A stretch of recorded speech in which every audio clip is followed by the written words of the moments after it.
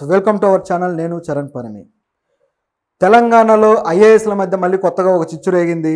స్మితా సబర్వాల్ వికలాంగులను అవమానించారంటూ కొత్తగా ఒక వివాదం చెలరేగింది. చూస్తూ ఉంటే ఆమె ట్వీట్లు కావచ్చు ఆమె నిన్న వికలాంగుల గురించి కొన్ని ట్వీట్లు చేశారు. సో ఆ ట్వీట్లు వివాదాస్పదం అయ్యాయి చూస్తూ ఉంటే ఆ వివాదం ముదిరి కాస్త గాలివాన్ అయ్యేలాగే ఉంది. పైగా ఇద్దరు ఐఏఎస్ల మధ్య ఇప్పుడు ఒక వార్ స్టార్ట్ అయిపోయింది. నిజానికి ఆమె చేసిన ట్వీట్లు కూడా అంత పాజిటివ్గా లేవు. వికలాంగులను కాస్త డిస్కరేజ్ చేసేలాగా వాళ్ళని డిమోటివేట్ చేసేలాగా వాళ్ళని కాస్త ఇన్సల్ట్ చేసేలాగానే కనిపిస్తున్నాయి. ఆవిడ ఏమన్నారంటే వికలాంగులు సివిల్ సర్వీసెస్కి అవసరం లేదు వాళ్ళకు ఆ, వికలాంగుల రిజర్వేషన్లు అవసరం లేదు అని చెప్పి చెప్పడం జరిగింది. ఇది చూస్తే వికలాంగుల రిజర్వేషన్లు అవసరం లేదు అంటే దాని అర్థం ఏంటి? ఇప్పుడు వాళ్ళు వికలాంగులు అనేవాళ్ళు వాళ్ళు ఇప్పుడు దాని పేరు కూడా మార్చుకొని మనం వికలాంగులు అనకుండా దివ్యాంగులు అంటున్నాం అనుకోండి.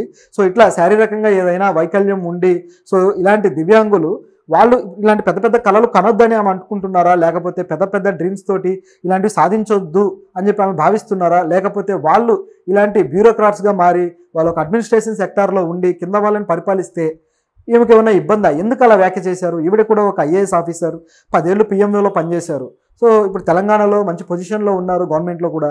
సో ఇలాంటి వ్యక్తి ఇలాంటి వ్యాఖ్యలు చేయడము ఇది వివాదాస్పదం అవ్వడం అనేది కాస్త బాధాకరమే. పైగా ఆమె నిజానికి చాలా మంచిగా పరిపాలన చేస్తూ వచ్చారు. ఆమె తన సెక్టార్లో ఎంతో గొప్ప యాక్టివ్గా ఉండి మంచి యాక్టివిటీస్ చేశారు. ఆమెకు మంచి మద్దతు కూడా ఉంది ప్రజల నుంచి. మంచి ఇన్స్పిరేషనల్ పర్సనాలిటీ ఆమె. ఆమె గురించి గతంలో కూడా ఒక వివాదాస్పదమైన వ్యాఖ్యలు కావచ్చు ఇట్లాంటివి పత్రికల్లో వస్తే కూడా ఈ ఐఏఎస్ క్యాడర్ సంబంధించి ట్రైనింగ్ అవుతున్న వాళ్ళు కావచ్చు మిగతా వాళ్ళు కావచ్చు చాలా బాధపడ్డ సందర్భాలు కూడా ఉన్నాయి. ఎందుకంటే అంత సిన్సియర్ ఆఫీసర్ అన్న పేరు తెచ్చుకున్నారు స్మితా సబర్వాల్. అలాంటి వ్యక్తి ఇప్పుడు సడన్గా ఎందుకు ఈ విధంగా మాట్లాడడం అని అందరికీ ఆశ్చర్యంగా ఉంది. అయితే దీని మీద ట్విట్టర్లో చాలామంది ఆమెను కామెంట్ చేయడం జరిగింది. ఎందుకు ఇట్లా అన్నారు? అసలు సరైంది కాదు. మీరు అంటే అందంగా ఉండాలా? ఇప్పుడు సివిల్స్ కావచ్చు లేకపోతే ఐఏఎస్ ఐపీఎస్లు సివిల్ సర్వీసెస్ ఎవరైతే రాసే వాళ్ళు ఉన్నారో వీళ్ళంతా అందంగా బ్యూటిఫుల్గా ఉంటేనే దానికి అర్హులా అంటూ ప్రశ్నించడం జరిగింది. నిజమే కదా? అందాన్ని సమస్య కాదు వైకల్యం ఉంటే ఏంటి? సమస్య ఏముంది దాంట్లో? బ్రెయిన్కి వైకల్యం లేదు కదా? నిజానికి బ్రెయిన్కి వైకల్యం ఉంటే అబ్జెక్షన్ పెట్టాలి. తెలివితేటలు అద్భుతంగా ఉండి మంచి మార్కులు తెచ్చుకున్న వాళ్ళకి వాళ్ళకి లైఫ్లో ముందుకెళ్ళడానికి ఒక అవకాశంగా చిన్నపాటి రిజర్వేషన్ ఉంటే దాన్ని ఎందుకు వ్యతిరేకించాలి? ఇది పెద్ద ప్రశ్నే. అయితే ఈ కింద కామెంట్లు పెట్టే వాళ్ళు ఆమెను గట్టిగానే అడిగారు. అయినా సరే ఆమె తగ్గలేదు. ఆమె ఎంత రిప్లై ఇస్తూ ఉంటే ఆ- రిప్లైలో కూడా సరిగ్గా తనను తను సమర్థించుకోవడం కావచ్చు తన వ్యాఖ్యలను ఆమె పూర్తి స్థాయిలో నమ్మడం కావచ్చు ఇది కాస్త ఇబ్బందికరంగానే ఉంది.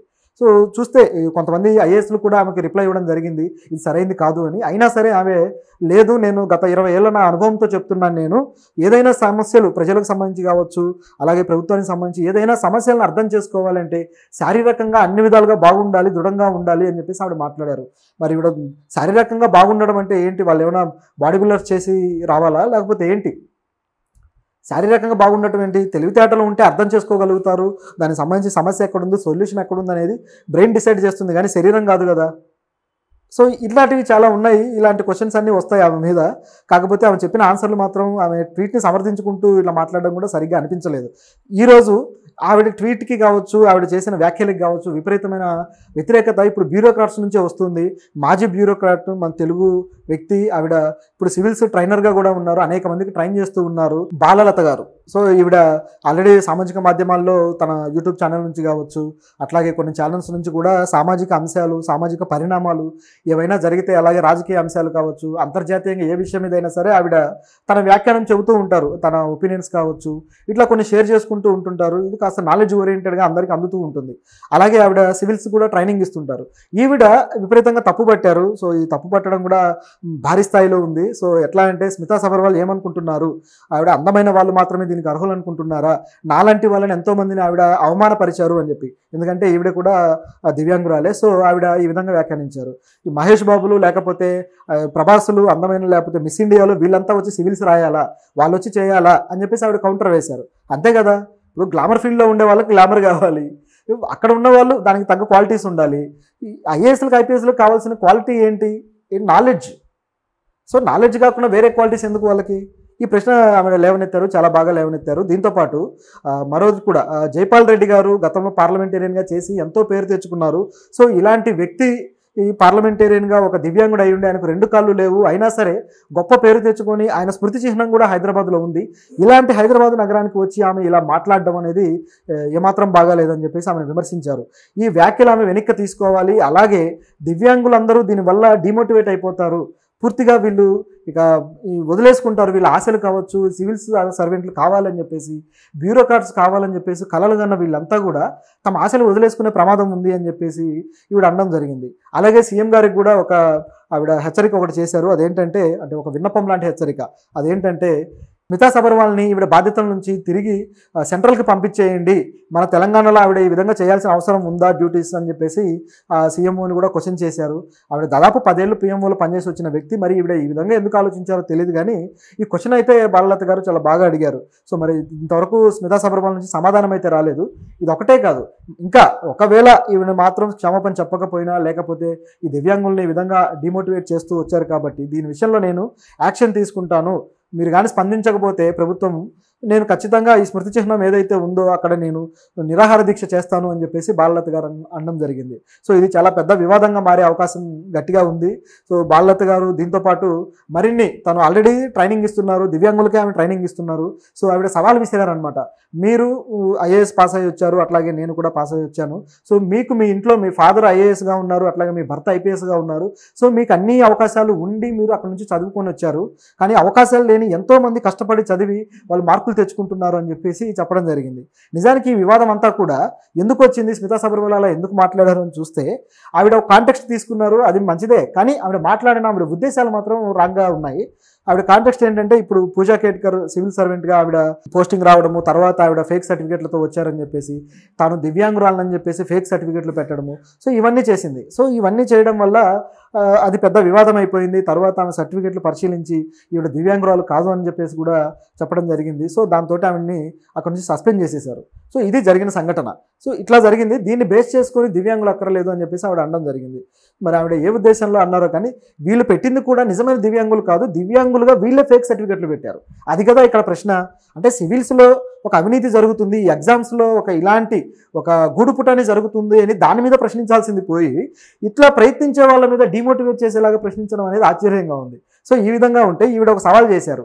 నేను ఐఏఎస్ పాస్ అయ్యి వచ్చాను మీరు పాస్ అయ్యారు నేను రిజైన్ చేశాను. అయినా సరే మన ఇద్దరం పోటీ పెట్టుకుందాం మనలో ఎవరు తెలివిన వాళ్ళంటే ఆమె సవాల్ విసిరారు. అది నిజమే కదా. ప్రజల సమస్యలు అర్థం చేసుకోవడానికి అన్ని విధాలుగా దృఢంగా ఉండాలన్నారు. మరి ఈవిడ దివ్యాంగురాలు ఈమె సవాల్ విసురుతున్నారు. మరి రెడీనా? స్మితా సబర్వాల్? నిజానికైతే రెడీ అవ్వాలి. ఆవిడ చేసిన వ్యాఖ్యలకు తగ్గట్టుగా.